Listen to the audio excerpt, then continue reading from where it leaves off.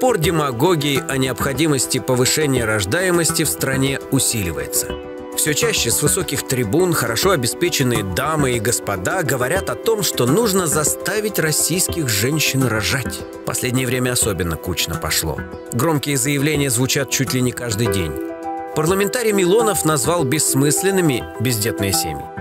Другой депутат Госдумы Вяткин заявил, что молодые россиянки должны начинать рожать с 20 лет. Член Совета Федерации Маргарита Павлова призвала переориентировать девушек с получения высшего образования на рождение детей. Озаботился большим количеством абортов и патриарх всей капиталистической Руси Кирилл.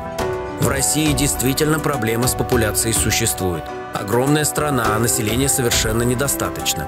Действительно, мы нуждаемся в большем количестве людей. Это факт очевидный, все признают, и политики, и социологи. В качестве причин низкой рождаемости власть имущие называют все, что угодно, только не социально-экономические условия в стране.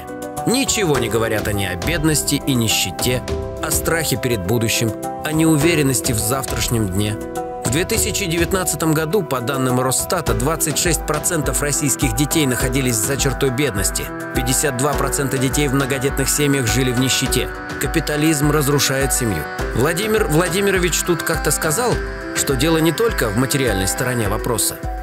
Преодолеть сложнейшие демографические вызовы, с которыми мы столкнулись, невозможно только с помощью денег, социальных выплат, пособий, льгот – отдельных программ. Да, конечно, цифры бюджетных демографических, расходов, конечно, крайне значимы. Но это далеко не все. Гораздо важнее жизненные ориентиры человека.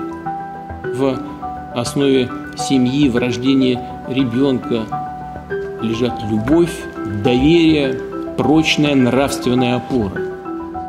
Но разве может быть нравственность чем-то отдельным от экономического уклада? Не рыночная ли экономика способствует нарастанию социального эгоизма и отчуждения между людьми? Не рыночная ли экономика превращает отношения между мужчиной и женщиной в расчетливую куплю-продажу? Многие сегодня не видят смысла не то что в продолжении рода, в собственном существовании.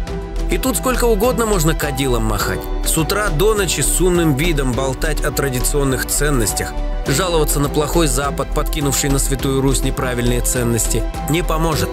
Пока не изменится экономический строй общества, вымирание не прекратится.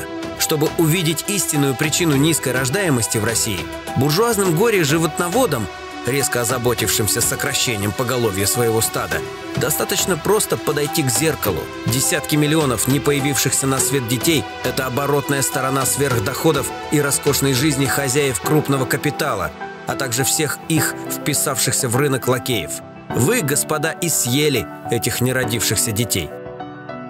Социально-экономические условия капитализма – самая эффективная форма контрацепции на свете – Американский комик Джордж Карлин однажды здорово прошелся по лицемерию борцов с абортами в капиталистическом обществе. Конечно, у американских проблем своя специфика, но в целом при капитализме везде одно и то же. Правящий буржуазный класс люди интересуют лишь как наемные рабы и объекты для эксплуатации. Что будет с рожденными детьми, в каких условиях они будут расти и воспитываться, Господ не волнует. Главное, чтобы поступал расходный человеческий материал. Консерваторы — это что-то с чем-то. Они всегда выступают в поддержку еще нерожденных детей. Они сделают все для нерожденных. Но как только ты появился на свет, ты сам по себе. Консерваторы, ратующие за жизнь, одержимы плодом от зачатия до 9 месяцев. После этого они не хотят о тебе знать. Они о тебе слышать ничего не хотят. Нет ухода за новорожденными, нет детсадов, нет льгот, нет школьных обедов, нет талонов на питание, нет социального обеспечения, ничего. Если ты вот-вот родишься, с тобой все в порядке. Если ты вот-вот пойдешь в школу, тебе трындец. Консерваторам на тебя насрать до тех пор, пока ты не достигнешь призывного возраста. Вот тогда ты им подходишь. Теперь ты как раз то, что они искали. Консерваторам нужны живые младенцы, чтобы они могли сделать из них мертвых солдат.